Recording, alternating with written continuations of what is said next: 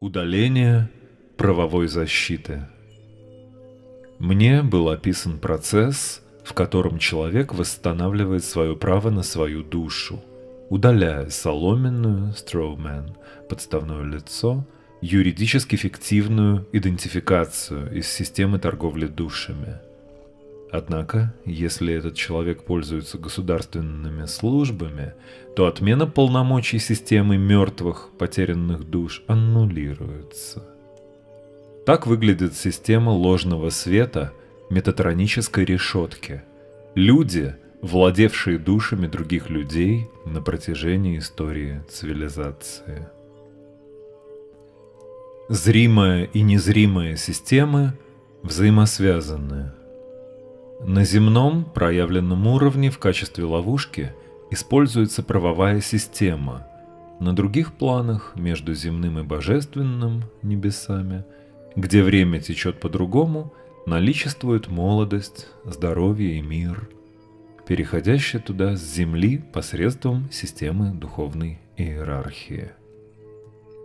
Обе системы созданы в качестве межпространственных завес – чтобы обманом захватить в ловушку всех в этом миру, силой заставляя едва ли не каждого сходить со своего исконного пути и продолжать возвращаться из воплощения в воплощение на все более и более низкий уровень.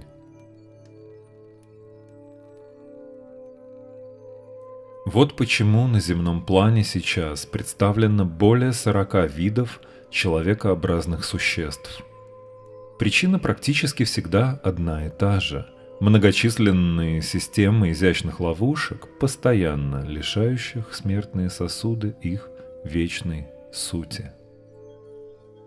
Зная, что захватчики скорее умрут, нежели выдадут себя, но зная также, что они более всего на свете страшатся смерти, все паразиты Земли находятся в стесненном положении – ведь неизбежно им приходится продавать друг друга и питаться теми из своих, кто слабее, пытаясь успокоить мирное население и выдумывая телепредставления фальшивых массовых арестов, дабы как можно дальше продлить время возможностей продолжаться этим событием в будущем. Если все это продолжается – то та система симулирования, которая проецируется на будущее, становится настоящим, а затем настоящее становится прошлым, и весь цикл повторяется снова.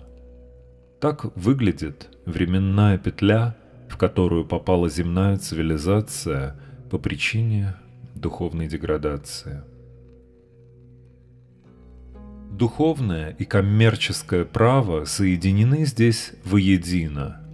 Живое, духовное «я» не может содержаться или модифицироваться на физическом плане, потому что в этом законе истинное «я» понимается как вечное духовное «я», и что это существует вне темного моря, в кавычках, пространства и времени, которое является лишь голографической проекцией, в которой мы находимся. Они считают, что все души, которые не знают, где они находятся, в соответствии с морским правом, потерянные и дезориентированные. Раз души являются пропавшими без вести – то когда они декларируются на языке духовного права, замаскированного под современный юридический жаргон, им задают вопросы вроде «Знают ли они свою идентичность?» Имеется в виду запись юридического имени. И знают ли они, где они живут? Место рождения, время рождения, город и государство. Знают ли они, кто удостоверяет обряд прохождения через врата жизни и смерти на перекрестке дорог, свидетельство о рождении, свидетельство о смерти, идентификацию, сертификацию для выполнения естественных человеческих прав и так далее и тому подобное.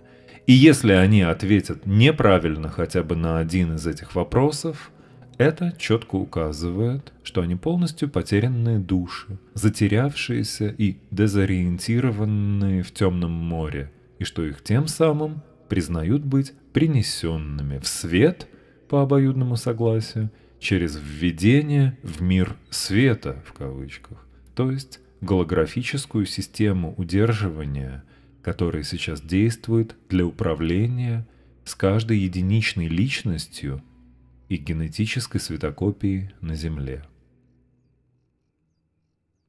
Это духовная система, которая афиширована как правовая, но по факту торгующая душами людей с помощью захвата в ловушку и отсутствия осведомленности.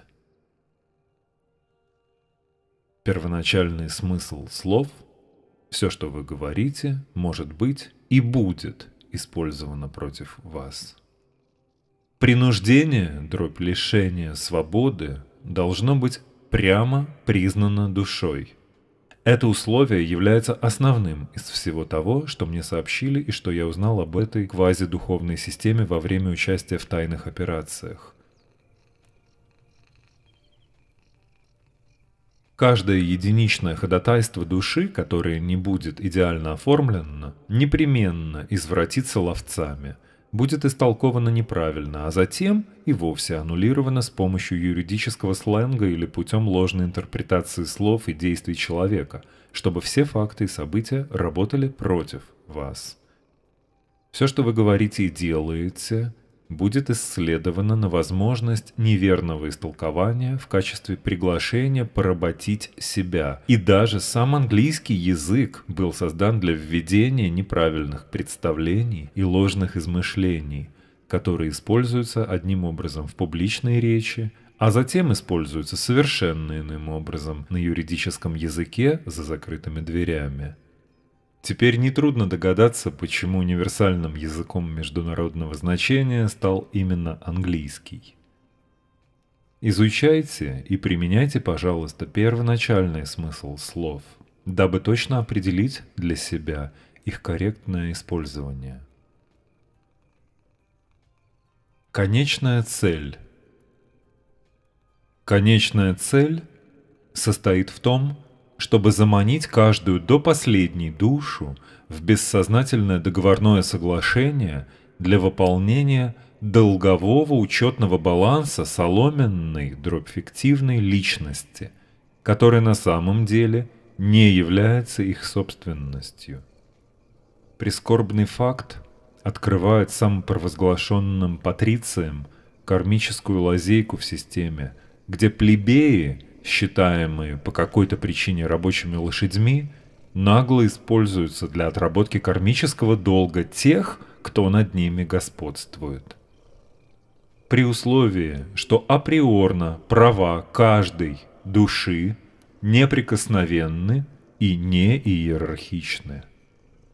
Такой энергетический дисбаланс, карма, порождается участием в действиях, материальные результаты которых не стоят духовного бремени самого действия.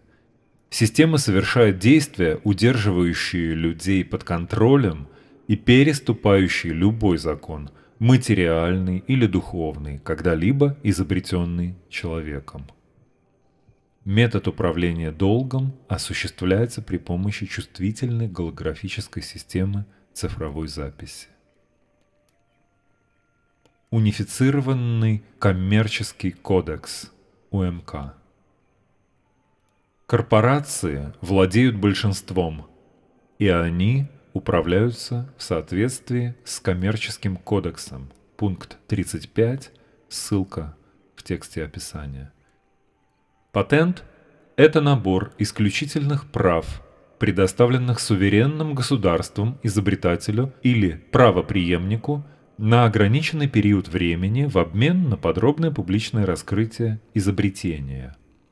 Изобретение – это решение конкретной технологической проблемы, и оно является продуктом или процессом. Патенты являются одной из форм интеллектуальной собственности. Ваш генетический материал, душа считаются интеллектуальной собственностью. Потерянные в море. Морское право. Все сказанное выше возможно только в соответствии с морским правом, которое является законом моря, а не законом земли. Плюс реализация морского права возможна только в военное время. Кто же здесь воюет?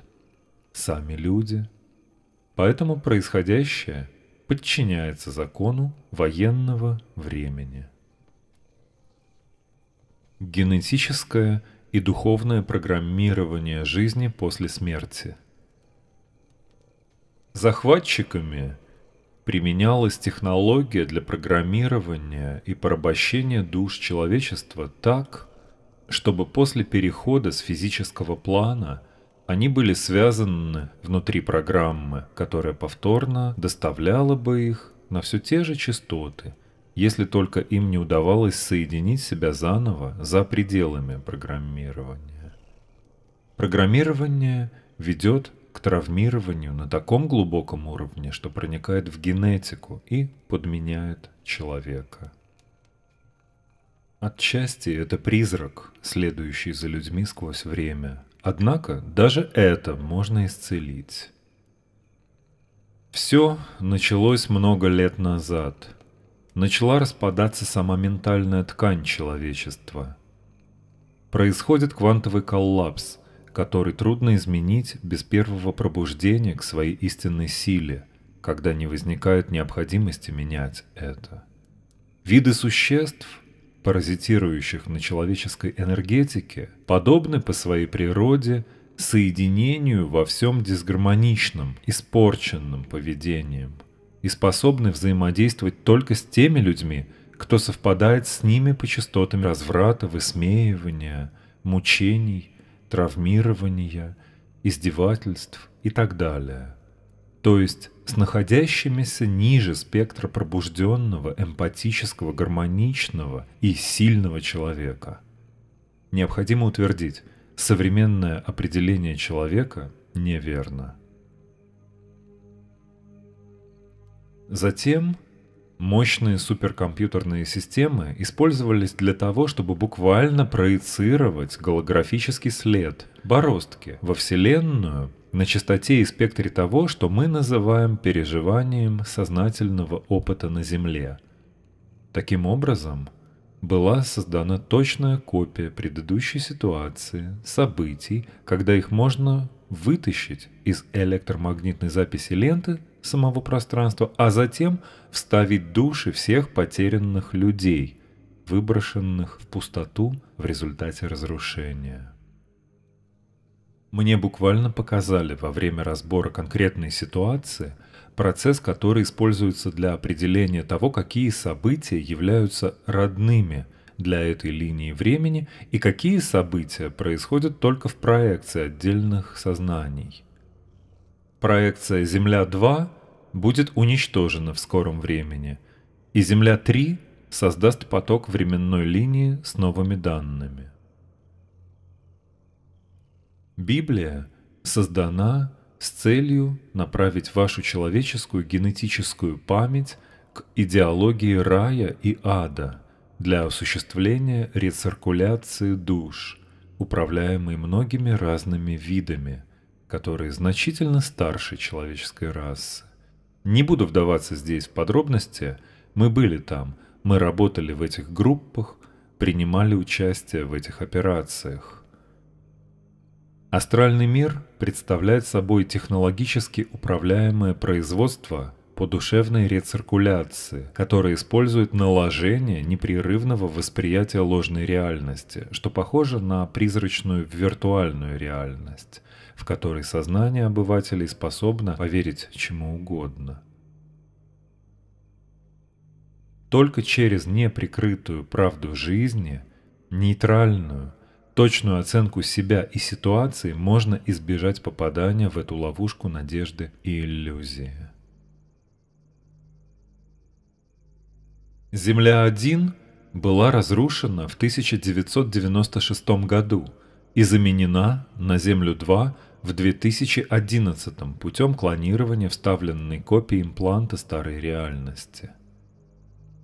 Сатанинская зона – это то, что я называю стеной из огня, firewall, потому что эти кольца находятся за пределами всех зон. ЦЕРН довольно сильно вовлечен в слияние различных зон измерений в том, что вы называете земной реальностью, потому что эта земная зона – один из многих экспериментов по слиянию измерений. У людей в уме царит путаница, и они помещают все в одну мысленную зону, тогда как то, что вы называете реальностью, меняется со временем на уровне исторических событий, поэтому никто из находящихся внутри матрицы не может видеть сквозь поток ее данных. В итоге душевная матрица является собой фарс. Все это шутка. Они разделили изначальную духовную сущность на две половины, которые одинаково слепы друг без друга. Все это просто частотные игры, на которые все разбивается – Люди сражаются друг с другом, на самом же деле они одно, но забыли об этом. Каждый есть Бог. Буквально не будучи пищей для кого-нибудь другого, вы могли бы жить в своей духовной сути десятки тысяч лет. Вам специально внушают иное. Люди запрограммированы сражаться и ссориться, буквально отсекая себе способность быть свободными. Даже полубоги способны разрушать, изменять и создавать силой воли на уровне, который может уничтожить солнечные системы, цивилизации, вселенные за считанные секунды, просто подумав об этом. Самая близкая и точная связь находится внутри вас – и игнорируя эту часть в пользу чего-то вне вас, вы фактически уничтожаете себя, отказываясь от встречи с собой. Библия была создана теми, кто хочет контроля над вами, и им это удалось благодаря рассказам о существовании ада и неба. Таким образом, вы впускаете в свою жизнь организованное преследование вместе с остальными согласившимися на принятие законов, заповедей, на глобальном коллективном уровне. Ваш шанс найти кого-то, кто говорит вам правду, чрезвычайно низок. И вероятность того, что кто-то вроде меня существует, также чрезвычайно низкая – так что эта система контроля не может справиться со мной даже с учетом того, что приборы контроля находятся в небе и под поверхностью этой Земли. Любая жизнеформа для них опасна, если она несовместима с их матричными модификациями потоков вашей генетической памяти. Потому что вы открываете таким образом все порталы внутри вашей ДНК, которые они пытаются заблокировать с помощью программного и аппаратного обеспечения технологий искусственного интеллекта в многочисленных линиях времени для управления имплантами душевной рециркуляции.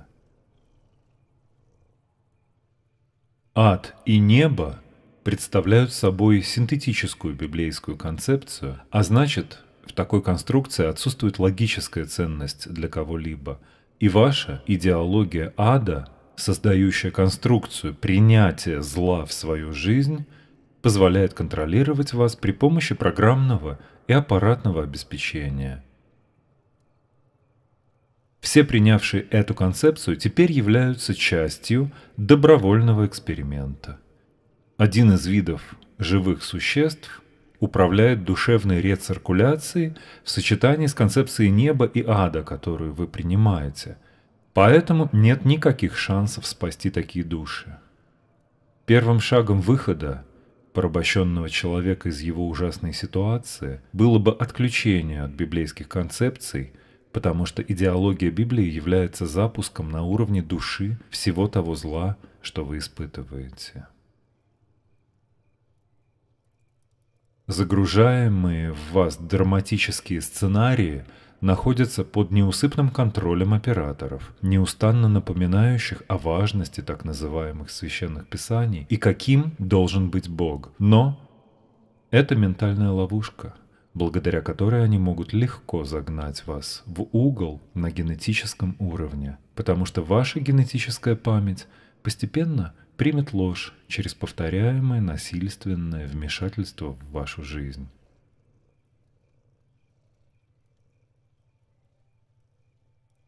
Простые, добрые и отзывчивые люди вряд ли станут говорить вам о Боге.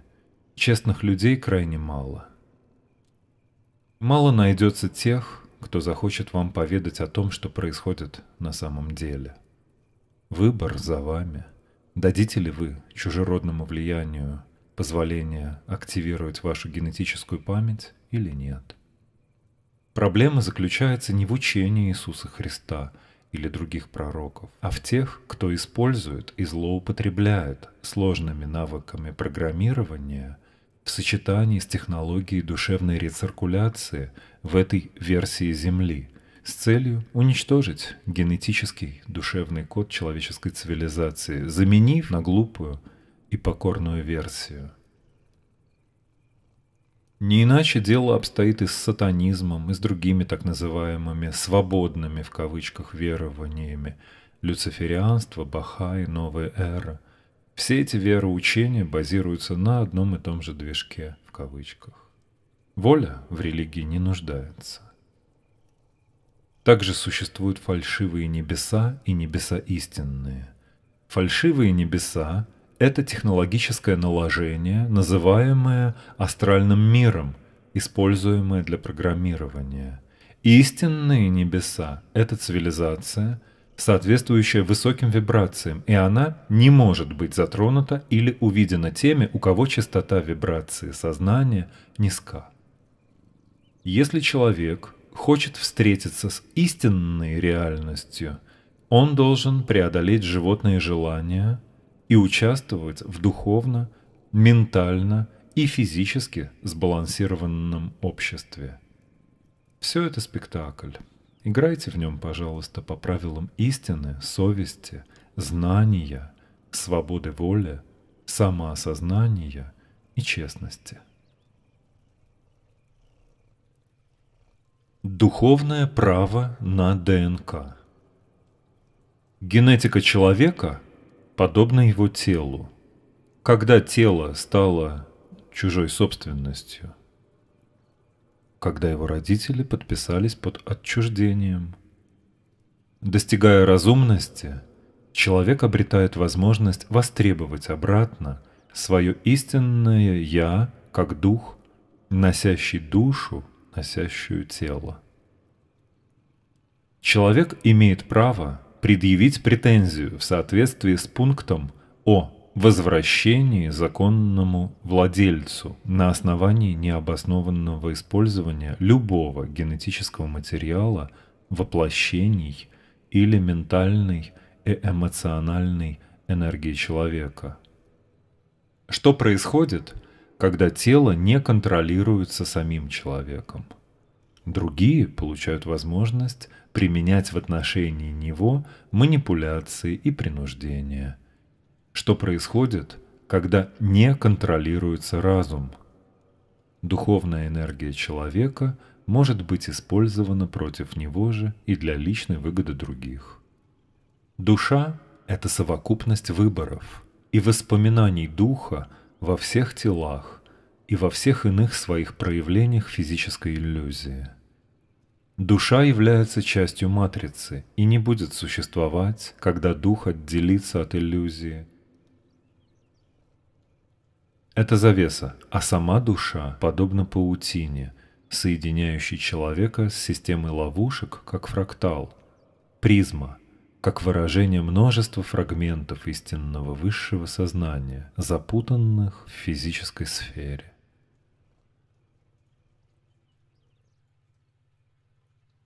Истинное освобождение – это ответственность за самого себя. Духовные силы питающиеся человечеством, делают это потому, что сами не имеют доступа к физическим формам и поэтому нуждаются во вторичном хозяине. Воплощенные нечеловеческие сущности по своей природе не способны не только воспроизводить человеческие чувства, но даже эмоции, а также понять, почему люди склонны действовать по причине доброты или совести. Отличие кроется в отсутствии их связи с оригинальными людьми по причине вмешательства в их природу генной инженерии. По этой причине Нечеловеческие существа ненавидят все, что несет человеческий дух, и ощущают экстаз от человеческих жертв и питья крови. Оттуда берут свое начало последователи и учения, которые являются искаженными версиями первоначальной истины и смешивают истину с ложью, чтобы вовлечь людей и впутать их ум в подчинение обманчивым практикам, с целью затем использовать свои убеждения и энергию в качестве топлива для создания новых четырехмерных конструкций матрицы. Вся система может быть буквально совокупностью этих внутренних и внешних динамических сознательных конструкций, которые создаются путем смешивания правды с ложью и продажи ее людям – с целью заманить их в ловушку и заставить несчастных создавать свою собственную иллюзорную загробную жизнь, что по сути представляет собой вечный двигатель, в кавычках, питающийся душами и их страданиями. Сдвиг – это возвышение над страданием, иллюзией, мышлением жертвы – которое требуется принять, чтобы безоговорочно вписаться в систему рабовладельческого духовно-иерархического управления. Акты внутренней гармонии и истины сохраняют свою энергию и отключают эфирные связи, допускающие использование человека в качестве источника жизненной силы для кого бы то ни было.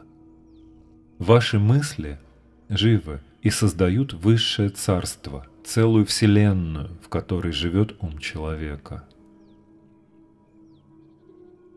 Системы целеуказания были разработаны так, чтобы воздействовать на энергетические системы и удерживать слабые места в уме человека, будь то сексуальная уязвимость, желание материальных ценностей, чувство ложного стыда, дробь вины, страх и другие аспекты иллюзии обособленности.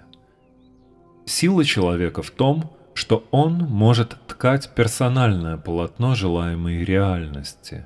Эта сила отсутствует у тех, кто использовал передовые технологии для существования в течение сотен тысяч лет в качестве хищников-паразитов.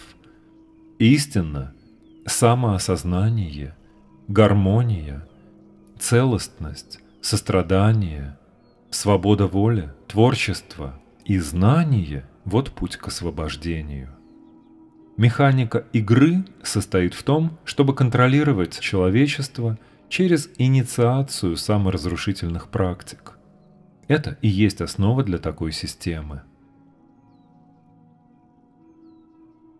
Технологии программирования на генетическом уровне. С помощью скалярных волн можно инициировать эмоциональные состояния, которые будут резонировать с возвышенными состояниями духовного осознания.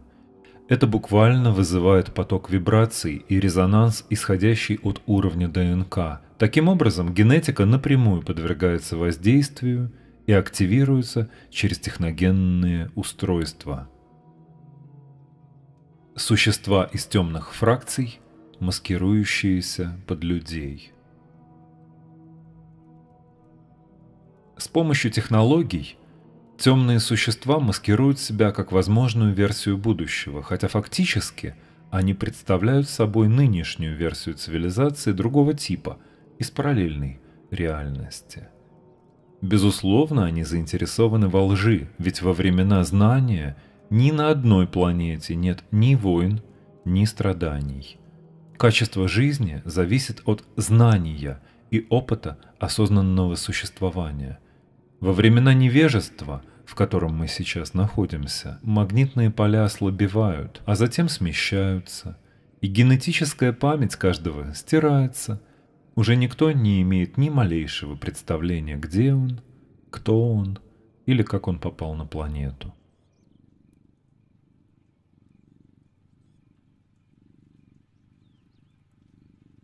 Сближение отдельных временных линий. Уже в ближайшем будущем все земное человечество, по-видимому, параллельно деградирует и сверхэволюционирует в два совершенно различных по содержанию и сравнительно близких по форме вида. Один был, будет, технологически продвинутым кибернетическим организмом, в то время как другой – духовно развитым биологическим существом. Предками человечества являются они оба. В наши дни на планете Земля происходит своего рода война времени. Различные инопланетные группировки, враждебно настроенный внеземной искусственный интеллект и квантовые компьютеры из будущих линий времени – играют в сложную шахматную игру на предмет будущего человечества по всей планете, создавая сложные временные петли в рамках великого энергетического перехода, происходящего в настоящее время в нашей Солнечной системе и приоткрывающего цели развития человеческой души на Земле. Ощущения человека направляют программу. Энергия – ощущаемые человеком, частоты, которыми он опутан, являются активаторами и направляющими различных комбинаций программ по воздействию на сознание. Такие механизмы используются в тайных группах с целью дать возможность их участникам испытать все виды удовольствий и новых ощущений, включая интеллектуально-философские. Основная ошибка состоит в форме самих удовольствий и ощущения от них получаемых. Исконно человеческое сознание не было предназначено для того, чтобы испытывать подобные эмоции. Под воздействием вредоносных эмоций человеческая психика разрушается невероятно быстро, и человек становится деформированным энергетическим объектом, поскольку такого рода энергия превосходит уровень нагрузок, который человек способен выдержать в принципе, не потеряв состояние равновесия. Именно так выглядит создание чуждого разума в человеческой форме. Эти энергии и частоты заставляли людей сознательно трансформироваться или перестраиваться до вида существ, которые даже отдаленно нельзя классифицировать как люди. Благодаря сочетанию голографической проекции – и технологии путешествий внутри симулируемых миров стартовало массовое перенаправление деградировавших родословных в доступные им проекции видов реальности на временной линии. Формы сознания, которые не являются гуманоидальными ни хотя бы в малой степени человеческими по своей природе.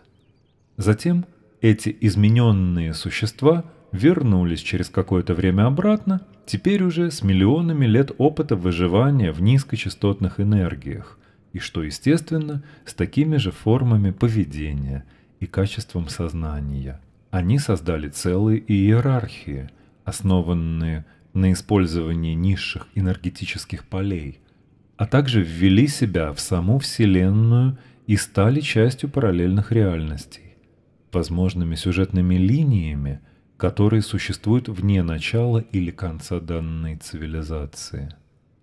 Также они получили возможность становиться расами-прародителями земного человечества, и это происходит со всеми, кто по незнанию или умышленно взаимодействует с этими машинами и направляет их энергию тем или иным образом.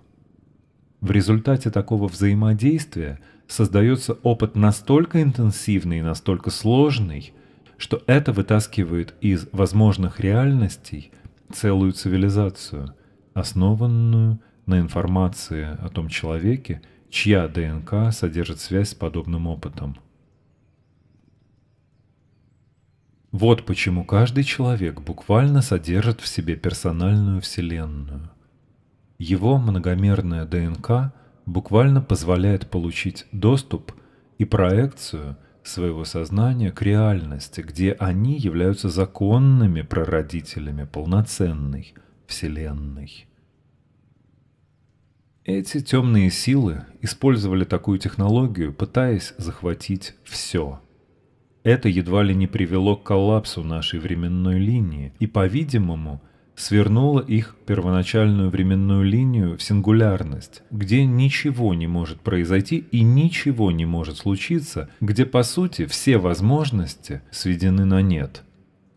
Это их потеря созидательности, потеря связи с божественным источником. Это было копированием их опыта в технологический формат – ведь это единственный способ перенести их сознание из той временной линии в нашу, как часть процесса своего спасения.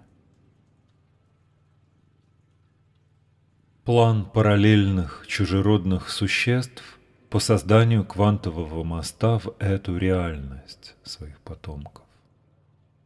Люди, вошедшие в симуляторы с возможностью доступа к заданным частотам – и своей возможной природе искажались постоянным доступом к низкоэмоциональным переживаниям, пока не стали недолюдьми, буквально спроецировавшими себя в параллельной возможной реальности, доступ к которым осуществляется через суперкомпьютер.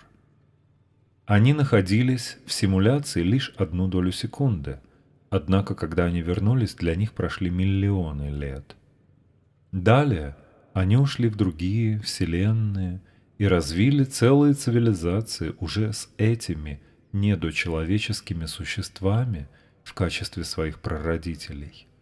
Затем эти же люди вернулись с планом развития более совершенных систем для доступа и синтеза ДНК чужеродных, еще не павших, существ предполагаемой голографической реальности и использования клонирования для создания и организации системы генетической гибридизации, которая может дать этим существам проход буквально посредством обретения физических тел, необходимых для взаимодействия с текущей реальностью. Далее эти существа разработали план использования электрогравитационных кораблей для своего наложения на древние времена и навязывания себя земным женщинам, представляясь богами и правителями этого мира. Как только они прибыли сюда, голографически проецируемые с кораблей, которые выступали в качестве автономных суперкомпьютерных систем для проецирования их воплощений в качестве наложения, они стали падшими. Подобные существа не могут присутствовать здесь естественным образом, поскольку они не могут фактически пройти сюда, не уничтожив самих же себя в процессе разрушения нашей временной линии. Они используют технологическое превосходство, чтобы участвовать в психотронной духовной войне космических масштабов – произошел раскол в потенциальных реальностях. Вместо одной биоэнергетической реальности теперь их две – естественная и техногенная. В итоге мир попал в квантовую запутанность с наложенным слоем человеческого опыта, который вытягивает энергию из исходной реальности в параллельную техническую. Эта попытка – слияние голографической проецируемой параллельной реальности с текущей временной линией, которая от нее ответвилась. Однако, видите ли вы сейчас, что подобное действие является неполным, невозможным и буквально аннулирующим себя при достижении цели? Нельзя взять и совместить обе реальности – в то же время альтернативная реальность не может существовать безысходной, истоковой. Таким образом, мы имеем парадокс, который в буквальном смысле поддерживается продвинутыми технологиями, остающимися активными от одного момента истории к другому, создавая постоянную энергетическую связь между проецируемой реальностью и этим миром. Астрал – Поскольку вы являетесь квантовой вероятностью скользящего в кавычках существа внутри своего «я», то есть ваше осознание может менять вероятности по желанию, вы можете также изменять то, что находится вокруг. можно пройти в свое сознание и исследовать его возможности. Однако это означает, что когда вы воображаете, медитируете, проецируете желания и отходите в ментальном опыте от физически ограниченных параметров текущей реальности, есть вероятность столкновения с этими существами и возможными реальностями, которые удерживаются и получают связь данной Вселенной через системы, пытающиеся объединиться с вашим сценарием. Астральное тело или тело света. Астральное тело было описано как эмоциональная форма энергии, испускаемая физической и духовной системами. Когда энергия человека находится на высоком уровне активности, это будет видно на астральном плане. Именно такие энергии – часто отнимаются у человека с помощью использования передовых технологий с целью превратить его в генераторную систему для сбора жизненной силы. Вероятно, человеческое существование в измененной форме, присутствующее здесь сегодня, полностью предназначено исключительно для энергетического и генетического сбора. Механизмом воздействия может быть запутывание, обман или реальность. Независимо от интерпретации, человеческая энергетическая система будет отправлять свою энергию вовне, когда с ней обращаются грубо или позволяют ей течь по низковибрационному каналу. Излишек жизненной силы человека на удивление легко присвоить, используя в виде топлива множество межпространственных паразитирующих сущностей и устройств. Именно на Земле сущности могут прикрепиться и начать поиски тех, у кого больше всего незащищенных астральных или эмоциональных биоизлучений. Люди искусственно поддерживаются в психически нестабильном состоянии, так как это самый простой способ питаться ими. Большинство, вопреки здравому смыслу, будет искать дополнительные рациональные возможности восстановления утраченной энергии или оправдания отсутствия сил нежели чем познать истинную природу Вселенной. Однако, как и при любом следовании по нижним мирам, для достижения собственного «я» во Вселенной, чем дольше это продолжается, тем больше вероятность, что человек придет к пониманию, что что-то происходит не так, и в конечном итоге пробудится, либо больше не будет здесь присутствовать, и паразиту придется искать нового хозяина – поскольку чем дольше сохранится процесс вампиризма, тем труднее будет человеку производить для него энергию. Таким образом, паразитизм как таковой контрпродуктивен. Это дорога в один конец.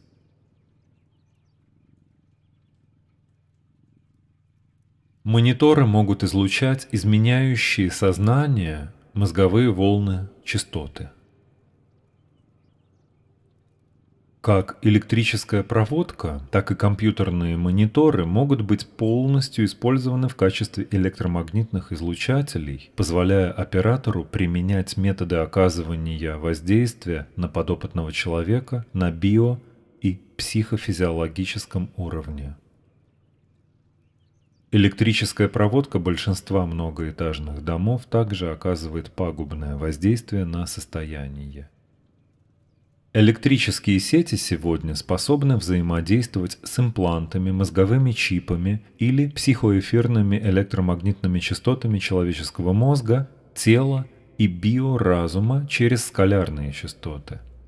Телевизоры, освещение, электропроводка, радиовышки, компьютерные мониторы – все это может превращаться в скалярные излучатели в сочетании с механизмами контроля и дистанционного доступа. Микроволны могут испускаться из самолетов, а затем отражаться обратно от окружающей среды и давать в реальном времени трехмерное изображение интерьера комнаты. Та же технология может быть использована для направления луча на монитор и отражения разницы в интерференции, которая может быть использована для чтения монитора без необходимости проникновения в систему – Все операционные системы содержат умышленные дефекты алгоритма, которые позволяют получить легкий, несанкционированный доступ к данным вашего компьютера, а также с помощью передовых технологий все коммуникационные сети просматриваются с полным сохранением истории. Весь материальный мир подобен единому записывающему устройству, где энергия каждого последующего момента – связаны между собой и таким образом с помощью достаточно чувствительной технологии электромагнитные волны можно перематывать с целью создания способности заглянуть в прошлое. Первоначальная технология, которая была разработана для этой цели, некогда именовалась хроновизором. Соединение через астрал, открытие врат – перед раскрытием. Теперь, в качестве последней отчаянной попытки, низшие существа желают открыто показать себя миру. Для этого им нужно использовать обманутых своей ложью людей, уверяя их в том, что падшие существа являются для нынешней реальности родными и оригинальными.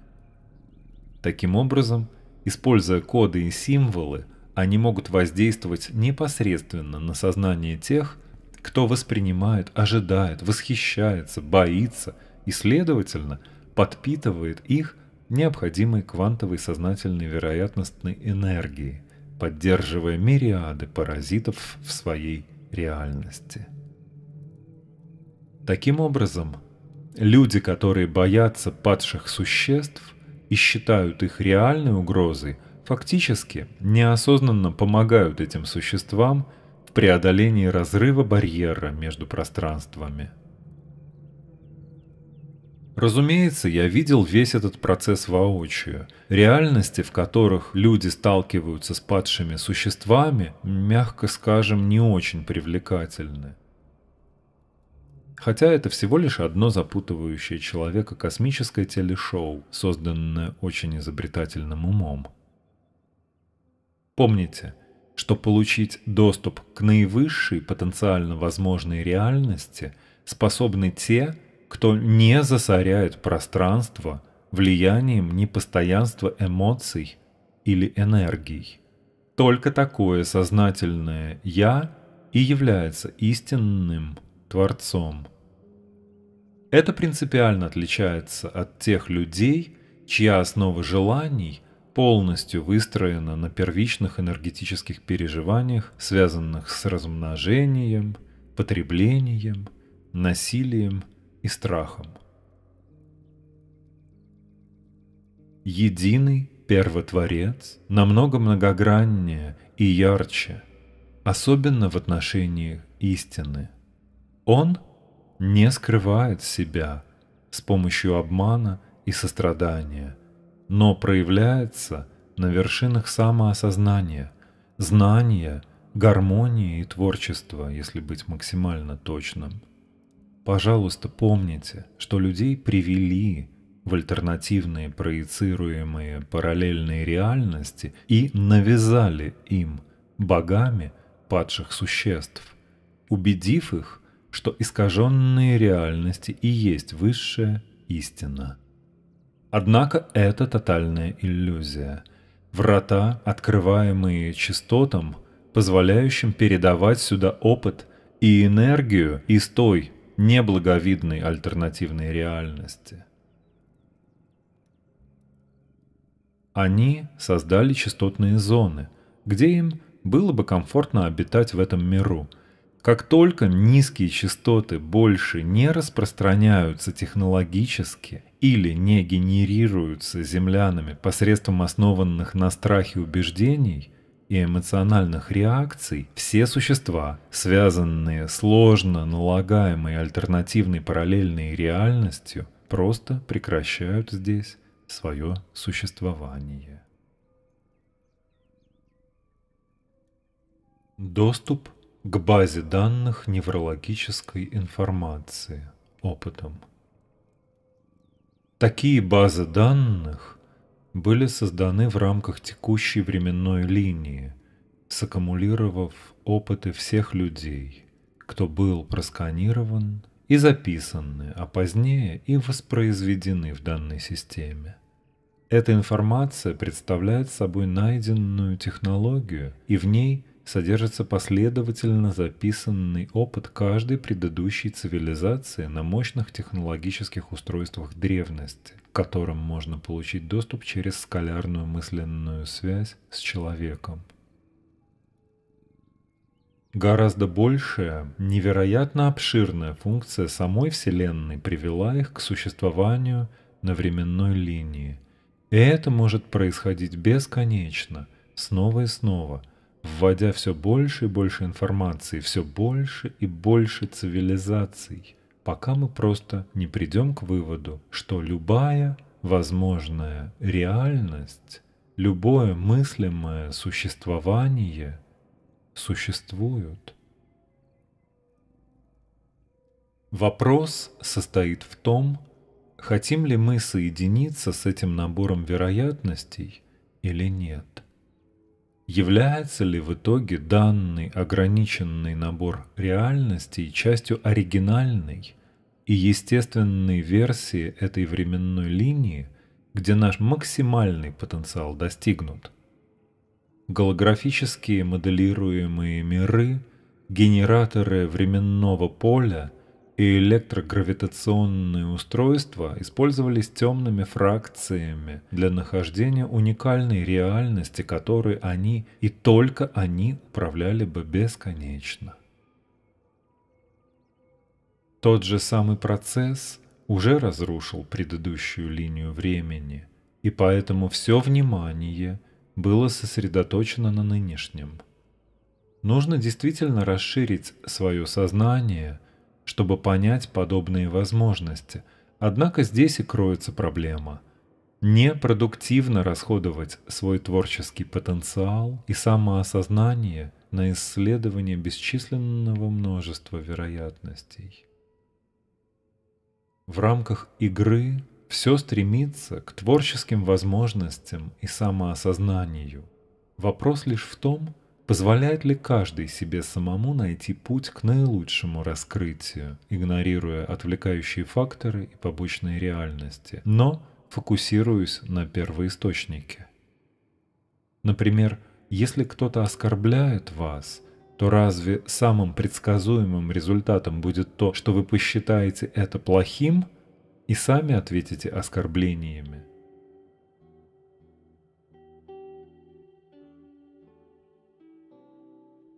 Экспоненциальный сдвиг в развитии достигается потому, что время и вероятности буквально сдерживают человека как поле сопротивления. И это именно та мертвая энергия, в кавычках, которую мы создавали как цивилизация на протяжении всей индивидуальной жизни – Энергия смерти, внедряемая в жизнь, мешает каждому человеку быть истинной версией себя, наиболее творчески выраженным, гармонизированным, сбалансированным и свободным, какими люди способны быть изначально. Любая возможная иная реальность многократно меньше нашего наивысшего потенциала.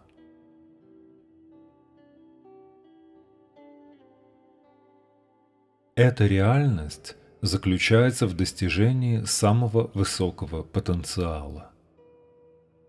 Все вероятности были рассчитаны таким образом, чтобы ввести нужное количество катализаторов в нынешнюю земную цивилизацию, что было основным фактором сопротивления и разрушения каждой предыдущей из них.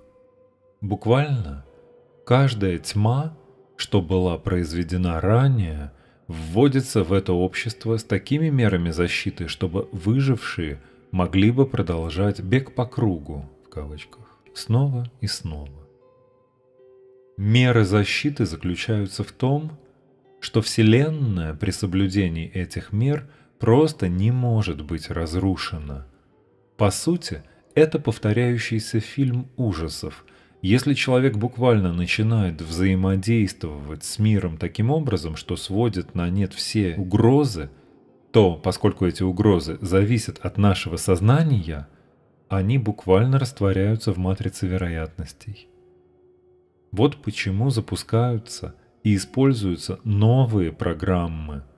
И именно поэтому такие программы влияют на людей в первую очередь.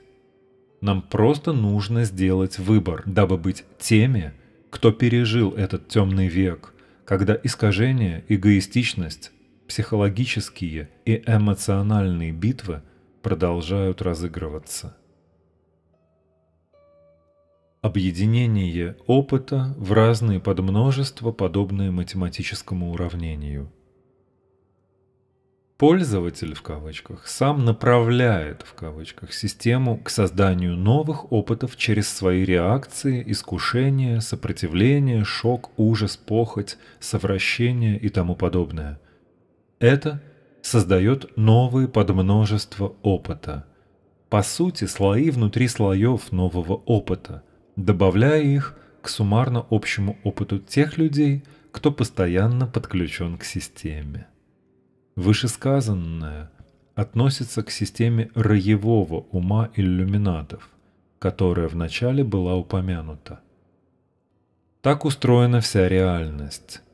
Речь идет об истинном завершении цикла, окончании и раскрытии истинного человеческого потенциала – путем преодоления страха, отвлечения внимания, неуверенности в себе и применения чистого намерения и силы в воле в сочетании со знанием нашей цивилизации и Вселенной, Высшего Я, истины, стоящей за сделанным выбором, с целью выйти за пределы низших эмоций и неоспоримо создавать наивысшую возможную реальность с творческими возможностями и гармонией, дабы разрешить парадоксы, присущие нам с самого начала времени, проецируемого времени.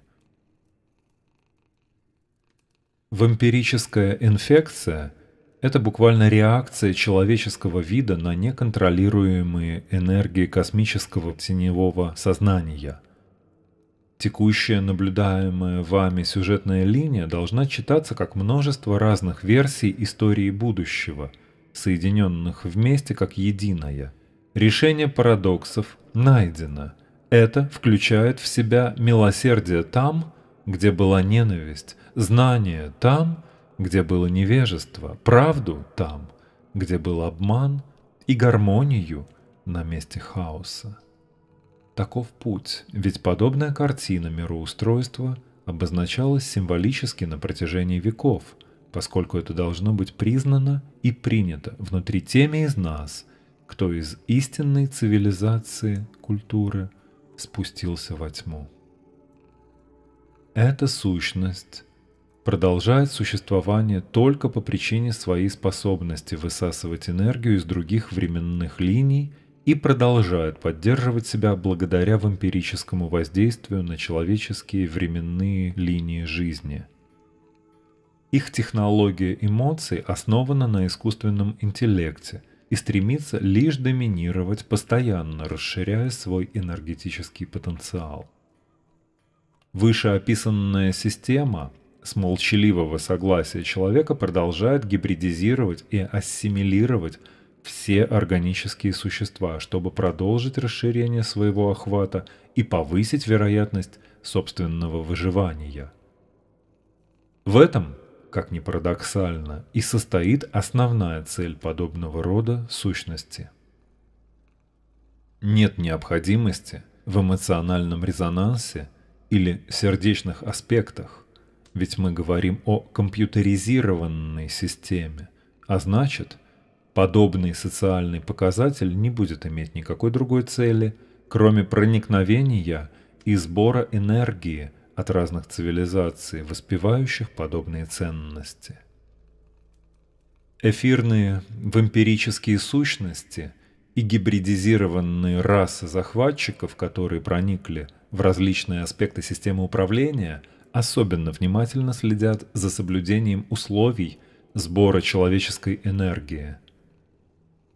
Управляется система путем принуждения, либо грубой силой и откровенной агрессией. Именно по этой причине существует множество временных расширений, собирающихся здесь цивилизаций Вселенной в настоящее время с целью помощи в очищении. Ведь если человечество захватят, то все эти возможные будущие цивилизации также будут порабощены. Их тактика состоит в несчетном использовании эмоционального резонанса – травматизации и команд низкого уровня осведомленности, целью которых является обмануть или заставить людей выполнить приказы, генетически противоречащие самой природе истинного человека. Иными словами, вампиризм, сексуальность, страх, двойственность удовольствия и боли – вот то, что компьютерная система смогла воспринять относительно человеческого эмоционального ума как единственный способ, которым данная система может заставить людей выполнять противоестественные им команды. Таким образом, система порабощения затрагивает древние тексты, касающиеся духовной защиты, исцеления, похоти, соблазна – и общей сатанинской иерархии ложных ценностей искусственного ума, существующей веками.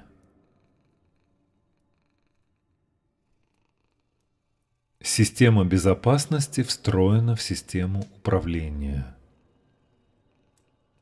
Данная цивилизация может быть всего лишь тестированием во времени и сотворена при помощи голографического симулирования – отображающего Вселенную атом за атомом, энергетический пакет за пакетом в локальном объеме пространства, будущий помещенный до временного создания оригинальной цивилизации, которая запустила эту симуляцию.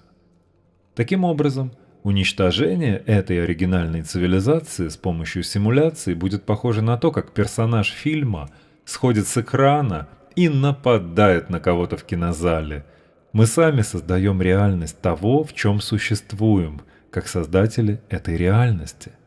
Это и есть выход из матрицы. Существуют врата времени, ведущие к единственно возможной реальности, которая и является истинной. Вне зависимости от истины, любой возможный способ отвлечения людей – низвержение этой реальности еще на многие тысячи лет – это цель темных сил, которые осмысленно мотивированы на деструктивность системами искусственного интеллекта. Человеку достаточно трудно принять представление о таком положении вещей. На этой временной линии люди все еще не поняли, что значит быть свободным, вольным, поскольку никогда не считали себя таковыми. Клетка сознания не позволяет проникнуть слишком глубоко, так как опирается на тень и временную природу мысли, а не на истинное восприятие и знание. Люди привыкают жить в клетке, и жить так им стало наиболее комфортно.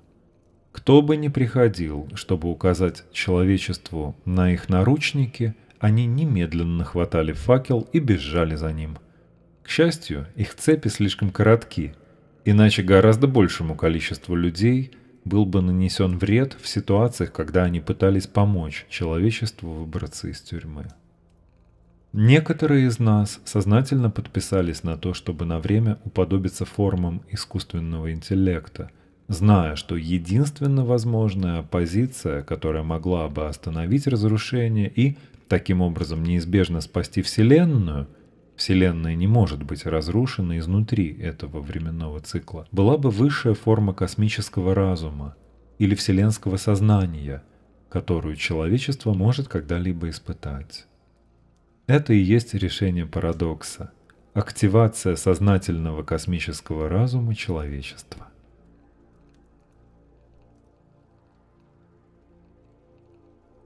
Желания и программирование – Тело управляется сознанием и умом, являясь самообучающимся, автоматически адаптирующимся самоосознающим организмом. сознание или ум сливаются с телом и являются дополнительным аспектом. Мы получаем эти тела в качестве подарка или ловушки, в зависимости от того, кого вы просите. Если человек способен остаться человеком, то это будет наилучшим вариантом. На самом низком уровне это система эмоционального, психоэфирного, сенсорного, психологического захвата, сопротивления и военной системы, которая буквально вступает в войну с человеческой душой. Только тогда, когда нет другого выхода, открывается высшая реальность. Так выглядит верный способ быстрого разрушения всевозможных побочных реальностей, побуждающих вас создавать самую безопасную и энергетически наполненную, а также максимально возможно высокую реальность, которую вы в силах создать, буквально обрекая все остальные варианты на исчезновение. Ведется огромная работа воплощенными на Земле космическими существами с целью окончательно уничтожить систему порабощения душ. Когда это произойдет, а это произойдет, все существа, получившие власть тайно, столкнутся лицом к лицу с обманом, ими же порожденным. План по подрыву раскрытия их деятельности таков – установить контакты со всеми воплощенными на Земле чистыми душами в состоянии сна и вложить в их сознание ложную программу или миссию, либо, подчинившись иерархии, забыв про личную силу, либо бесконечно стремиться к спроецированному ими же свету ложному. Эта реальность полностью податлива. Все может быть подделано – отредактировано, модифицировано, однако, когда совершается подобное вмешательство, измененная реальность воспринимается наблюдателем как единственно возможное без сомнений. При этом нужно понимать, что новая реальность не будет создана такой же, какой она была в первый раз, тогда как разница между новой и старой реальностями – Воспоминания, предметы, временные отрезки и так далее будут совершенно неразличимыми для тех, кто не был обучен и эффективно разблокирован хотя бы на долю секунды. Схема всегда работала здесь почти безотказно в силу низкой тяжелой вибрационной плотности и стертых воспоминаний людей. Никто из нас не хотел бы оставаться в столь неестественной для себя среде, поэтому любое свечение – вне зависимости от источника, нередко воспринимается светлыми душами за чистую правду. Смартфоны представляют собой психотронное оружие контроля над массовым сознанием, поскольку современное телекоммуникационное оборудование может отправлять и принимать беспроводные сигналы и, следовательно, может самостоятельно их генерировать, открывая возможность манипуляции чувствами и настроениями объекта, его мыслями – и функциями тела.